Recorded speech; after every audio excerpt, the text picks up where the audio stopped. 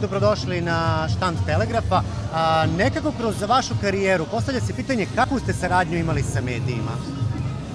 Da li su mediji zaslužni za to što ste danas, kaže, legendarni Željko Bebek? Ne, uveliko, da, uveliko su mediji zaslužni, bez obzira koliko sam na lijepi pjesama odbio, koliko sam imao dobrih koncerata, prvo sa grupom bio dugme, pa onda i kao solista, je već 44-5 godina. Ali stvarno bez medija teško da bi, da bi riječ, glas, ton stigao do onih koji te poslije drže i onda kažu sjajna karijera i evo šta se rekao, legenda. A da, evo čak i vaš novi album se najavljuje, a, novi album legendarnog Željka Bebeka. Kako to vama zvuči i uopšte da li sebe, a, da li ste u nekom trenutku svoje karijere pomislili pa ja stvarno jesam legenda? Ma ne, baš tako, ne. Ne, ne doživljam ja uopće to kao, kao realnost, kao nečiju tvrdnju uz dokaze, ne. Ja to više osjećam onako intimno unutra kao, kao jedno malo jače poštovanje osobe koja mi se obraća i kaže čovjek 40 godina pjeva baš je legenda. Ja. Ali ne možda sam legenda. Ne, ne postaje se tako lako legenda. Nekako na ovim prostorima kad neko traje 30, 40 pa i 50 godina kažu e dokle će više Jeste se susretali sa takvim mišljenjima i uopšte eto kad ste vi bili mladi, kad za nekog pevača kažu eto ima 40-50 godina karijere, šta pomislite? Ne, u vrijeme kad sam ja bio mladi, kad je bio dugme bilo mlado i kad smo sve počinjali, jel? Nama se činilo da pjevači preko 40, preko 50 godina zapravo trebaju hitno otići u mirovinu jer su, su nam izgledali kao smetnja. A to je bilo nekako drugčije vrijeme u koje e, se znalo biti isključivo. Na susreću se vremena promijenila, demokratizirali su se. Tako da umjetnik ne mora baš imati 25 godina da bi bio sjajan, niti mora imati 70 da bi bio sjajan, a može imati i 25 i 70. To je sjajno što se u novim vremenima, novim prostorima, nakon bivšeg sustava političkog, što se desilo da se možemo družiti zajedno i stariji i mladi, da je najvažniji projekt, produkt, ono što smo napravili. A sa novim pesmama nekako ste zadobili i e, novu publiku. Niste ostali, e, mnogi e, pevači i muzičari nekako kad naprave neki uspeh, oni ostanu u toj fazi i misle da je to sasvim dovoljno. Vi se niste dali, da. već i odlaskom iz Bijelog dugmeta ste napravili revoluciju sa svojim prvim samostalnim albumom. Pa evo sad i sa ovim, skroz je opet to nešto drugačije. Mogu da, neću reći pratite trendove, ali opet gledate da svaki put bude nešto drugačije. Ne, pa, čovjek uvijek proba proba sebe doživljati kao trend makera, jel? I uvijek se nadaš kad nešto novo radiš da ćeš napraviti uh, neke uzorne stvari zbog koji će većina koja te čuje reći wow, evo vidi opet nešto novo, jel? Tome težimo. A, ali ja recimo ovaj trenutak o kojem sad govorimo, uh, na ovoj promociji u Beogradu, na sajmu Media Market, sa svješću ome, iz prvog pitanja o tome koliko mediji doprinose i sve. Ovo je nekakva moj treći početak. Dakle, vrlo uspješan početak je bio 70. godina, pa sam onda imao 90. godina novi uspješan početak i kada su mnogi pomislili da sam zapravo rekao sve što sam imao reći, onda se desila 2017 desila se moja suradnja sa, ponovo sa Branimirom Mihaljevićem i tom cijelom ekipom, sa Nenom Ninčevićem, kroz pjesmu Ako voliš ovu ženu sa Oliverom Dragojevićem. Postali sentimentalni sa godinama. Nekako mi se čini da, da su uh, sve pesme post, uh, tokom godina postajale ljubavnije i ljubavnije. Da, imam ili ja to, Ili je to možda zbog toga uh, što imate suprugu pa sad kao, koja vas u svemu podržava pa možete i njoj da pevate te nove pesme?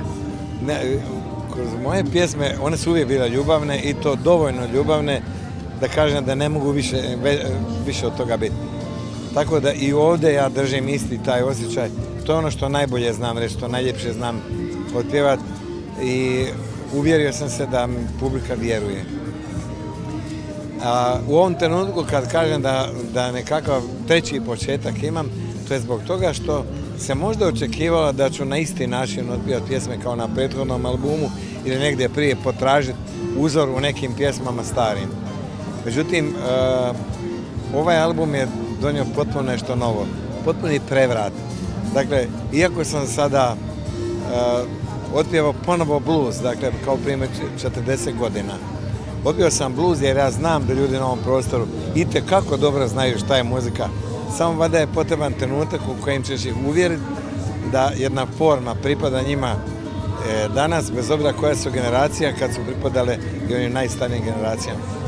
To je malo hrabro, ali kritika se već osvrnula na ovaj album upravo tim riječima da je domišljen do kraja, da je uražen skoro da kažem perfektno, pa i tehnički na kraju i poseban moj užitak je što je ovaj projekat doživio i svoje e, izdanje na long play ploči. Neko se vraća. Ja se intimno nadam da će generacije zapravo koje dolaze prepoznati da gramofonska ploča i gramofon kao tehničko sredstvo ono vrijeme nije bio samo e, tehničko pomagalo u kući. On je, on je bio nekakav sastavni dio rituala na kojima čovjek živi. Imajući gramofon, imajući ploču i stavljajući gore i slušajući pucketanje s kojim se odmah pomiri iako zna da to nije ta pjesma. To je jedan poseban užitak. Na nekakav način kroz gramofon su ljudi zavoljeli muziku. Jednom prilikom ste rekli da vas u porodici pitaju dokle više i šta vam sve ovo treba. Da. pa, a šta im na to kažete? Se nasmijete kao sad na ovu moju konstataciju, odnosno njihovu? Pa vrlo često se znao desiti da, da me ljudi pitaju pa dokle će ovako, jeste li razmišljali o kraju karijere i to. I onda ja moram reći jednu stvar vrlo otvoreno. kad se baviš muzikom i ti zapravo možeš imati nesreću da te odbace, ili ima sreću da te ne daju otići. Ja sam po sretnom zvijezdom rođen, meni ne daju otići i onda nema mjesta mirovine. Jel muškarcima koji se bave muzikom mnogo danas lakše nego ženama, a dođu neke godine? Nekako muzika se danas sve više gleda. Kada su muškarci u pitanju to može da se provuče, ali ženama se nekako godine danas ne praštaju ili je to možda samo moje mišljenje? Skoro bi rekao da si mi sugerirao da, da si možda u pravu, jel? međutim, da, muškarac ima priliku da ga slušaju, jel? Djevojke nekako moraju i gledati i, slušati. Ali taj medij televizije, općenito videa, je kroz redatelje širom svijeta unazad 20-25 godina, naročito u zadnjih e, deseta godina, toliko prešao u intimu da nekako ženu lako slušam, a nekako više volim vidjeti. Ne spadam u te, ja, ja estetiku volim i gledam u ženi estetiku, ali uvijek tražim impresiju iz poruke, iz onoga što je otpjevala. Ali mislim da je ženama danas teže. I pitanje tiče se vaše porodice, neko je malo uzeo da se bavi muzikom, da možda nasledi bebeka? koliko vam to prija? Nekako svedoci smo kod nas da deca poznatih uglavnom krenu putem kojim idu njihovi roditelji. Jeste se bojali da neko od vaših to neće učiniti? Ali evo sad vas... Pa da, pa skoro, skoro da sam razmišljao da spadam one čije djeca neće. E, ništa u muzici doživljavati, jel? Izve slušati onako Međutim, e, iznenadio me moj sin kada je prije dvije godine završio skijašku svoju karijeru, odustao je zapravo od skijanja i rekao da bi radio nešto drugo. I na moje pitanje, a šta bi drugo radio da pokušam pomoći naravno i odabiru i da pomognem kao otac, on rekao da bi se bavio muzikom, da bi htio svirati gitaru. I sad je treća godina akademije u Zagrebu. Jako je talentiran, jako je vrijedan, pregara, ovoga, e, treniraju, vježbaju što.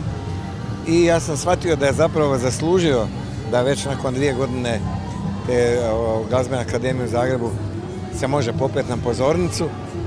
I onda ga ja predstavljam kao sebi najdražega gosta, da odsvira nekoliko pjesama, to i publika moja voli, to, naš do tinežeri to vole. A ja sam eto napokon doživio da mi se ostvari san da moj sin je na pozornici. Naravno, imam je najmlađu kćer, Katerinu, koja je druga godina na akademiji na klaviru.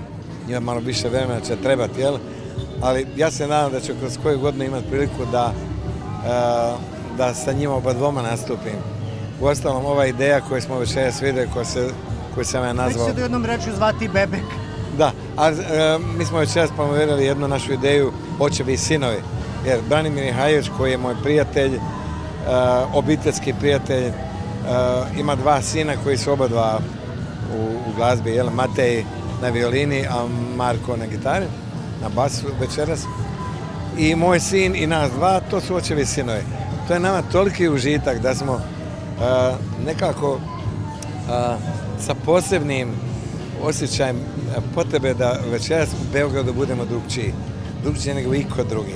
Evo, i zato smo ovaj album koji obožavamo i on kao autor i kao red, ovoga, producent i ja kao pjevač i naše obitelji došli smo u Beograd promovirati u ovoj sjajnoj ideji očeva i sinova. Dakle, i to je to. Sretan sam što mi se sin bavi muzikom i što će mi se i kćer mlađa baviti muzikom, najmlađa. Hvala vam mnogo i nekako očekujemo da vas bar jednom godišnje vidimo u Beogradu. da li to bude neki manji koncert ili veliki koncert u Sava centru, ali nekako smo navikli da bar jednom moramo da, vas vidimo godišnje u Beogradu. Evo, nažalost ne mogu već u Beogradu reći gdje se to dešava, ali 16.12. rođendan slavim u Beogradu. U jednom krasnom društvu, na jednom privatnom partiju. To je način na koji znam doći u Beograd vrlo često. Onako potajno. Ali Beogradu i Srbiji obećavam da od proljeća pa nadalje ćemo se viđati. U Beogradu ću napraviti početni koncert za turneju po Srbiji i nadam se da ćemo se ovoga, iduće godine družiti kao što smo u ostalom imali priliku već prije dvije godine u Sava centru, a i kao prošlo ljeto kad sam nastupao u Vrnjačkoj banji u Novom pazaru, nekim mjestima koja su me prekrasno ugostili i uvijek koristim priliku da sviju iz organizacije iz ta dva grada pozdravim. Hvala vam mnogo i kažem, mi smo tu za vas kao što ste i vi uvek bili tu za nas. Hvala Nekako ta, ta saradnja mora da bude obostrana. Hvala Telegraf, imat ćete naravno sve informacije vi i nadam se da ćete mi pomoći da napravim lijepu turneju po Srbiji iduće godine.